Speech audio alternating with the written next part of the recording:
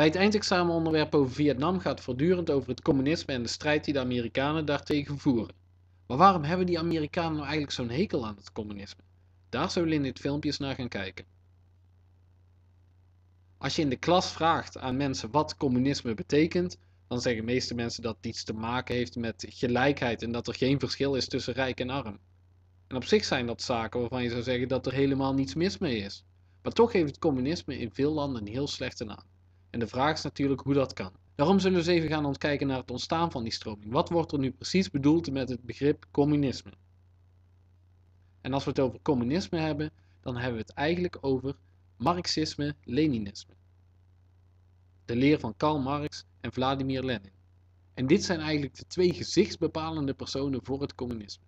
En we pakken ze er één voor één even bij. We beginnen met Karl Marx. Karl Marx leeft in de 19e eeuw, de tijd dat de industriële revolutie gaande is. Hij ziet de wereld om hem heen steeds meer veranderen. De industrialisatie is aan opmars bezig en Marx ziet daar vooral de nadelen van in. En Marx gaat erover nadenken en die komt uiteindelijk met een theorie die, we, ik hieronder kort even uit de doeken zal doen. Uh, een beetje versimpeld, maar dan heb je de hoofdlijnen te pakken. Marx gaat uit van drie fasen.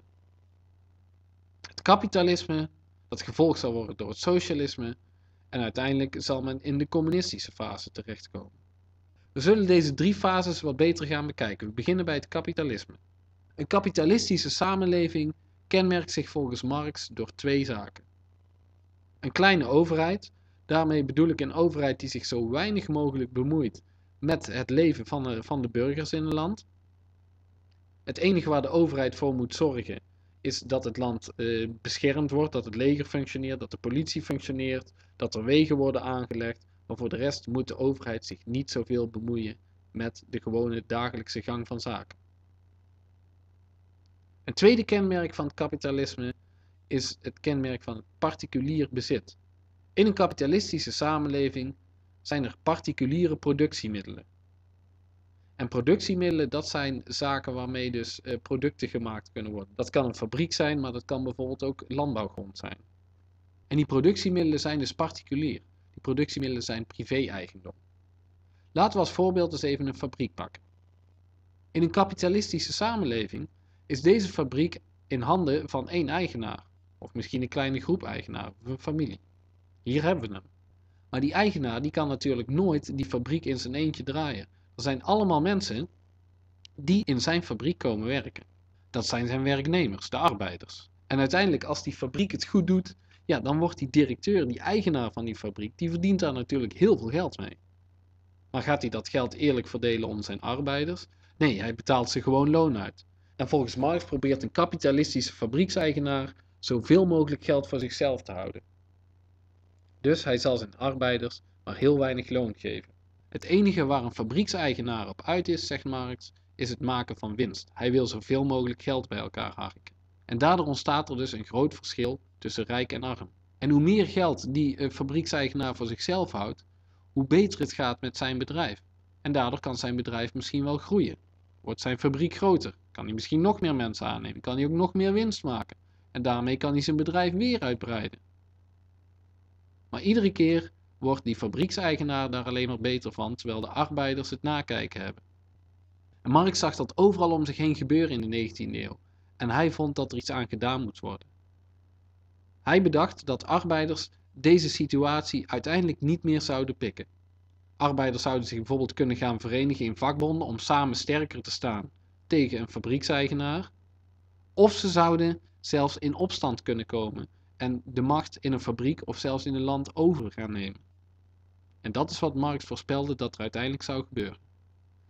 En daarmee zou de volgende fase aanbreken, de fase van het socialisme.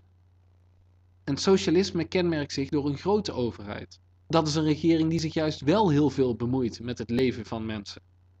En uh, die bijvoorbeeld zorgt dat de verschillen tussen rijk en arm niet te groot gaan worden.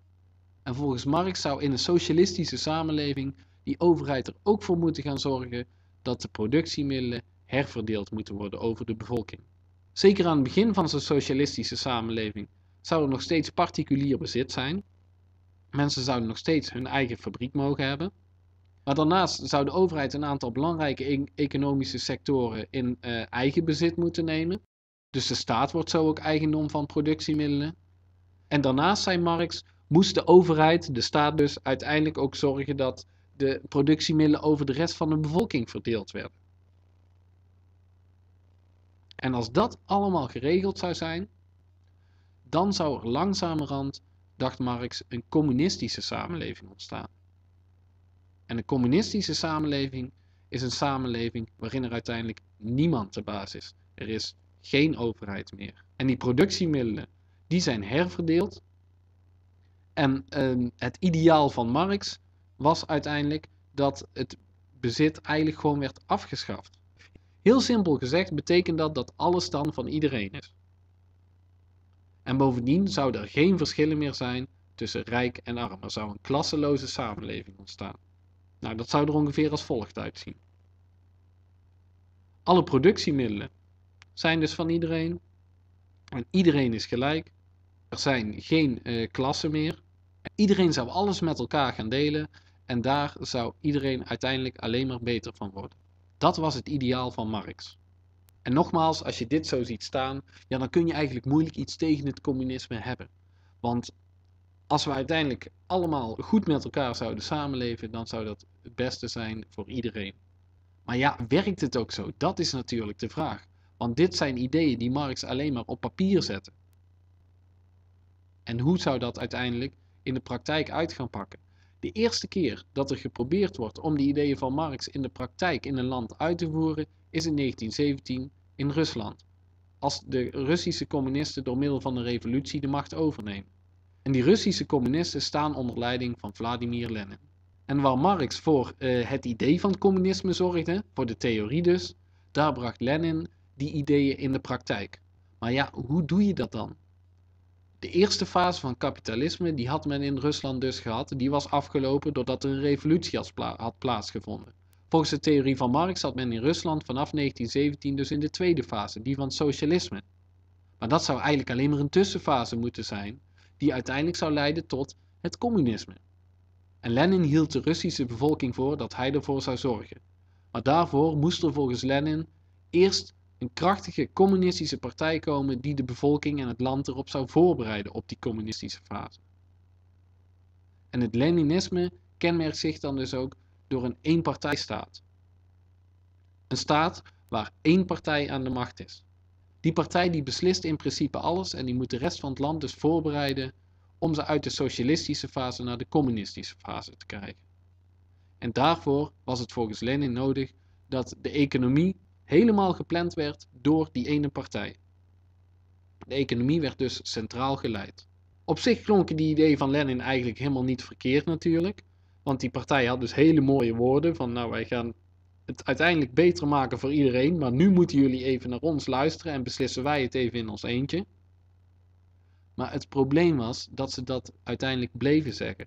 Wij blijven beslissen. De meeste mensen binnen die partij vonden het eigenlijk wel fijn dat ze nu de macht hadden. En zo gauw ze de macht hadden, uh, wilden ze die macht eigenlijk ook het liefst behouden.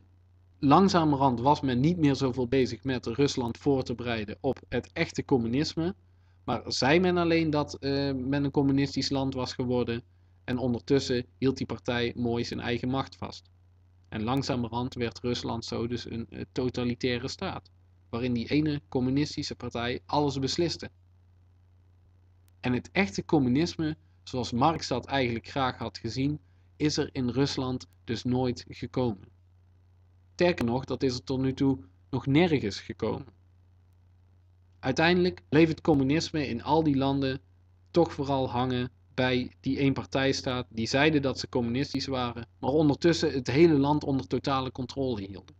Oké, dus hier zie je een beetje de theorie en de praktijk van het communisme nu nog even ingaan op die vraag waarom die Amerikanen daar dan zo'n grote hekel aan hadden. Nou, één ding moet je weten van de Verenigde Staten. Het is een hartstikke liberaal land. Als er iets belangrijk is voor de gemiddelde Amerikaan, dan is het wel individuele vrijheid.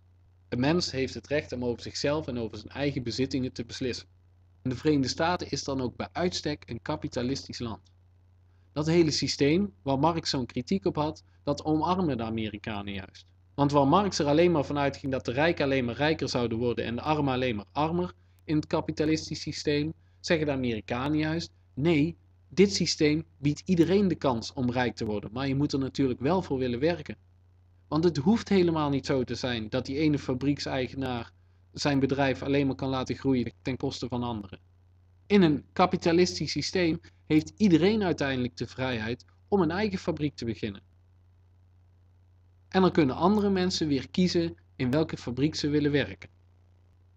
En het kapitalisme biedt voor iedereen dus de kans om hoger op te komen. En die ideeën van Marx vinden de meeste Amerikanen dan ook totale onzin. Wat is er in een kapitalistische samenleving dus sprake van individuele vrijheid? Ja, die is er zeker. Maar hoe zit dat dan met het socialisme? Want daar hebben de Amerikanen dus een hekel aan. Nou ja, daar is dus een hele grote overheid die heel veel voor de mensen beslist. Dat beperkt dus de individuele vrijheid van de mensen.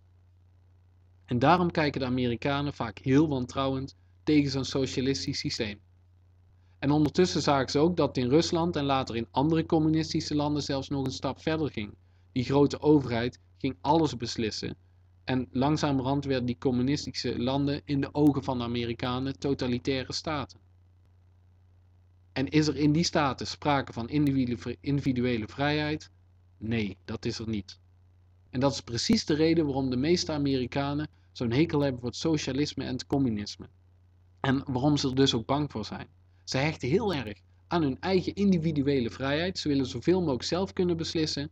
En in een socialistische of in een communistische samenleving wordt er juist heel veel voor je beslist. En de Amerikanen vinden dat niet kunnen. Zij zijn bang dat zo'n communistische overheid de hele wereldbevolking wil controleren.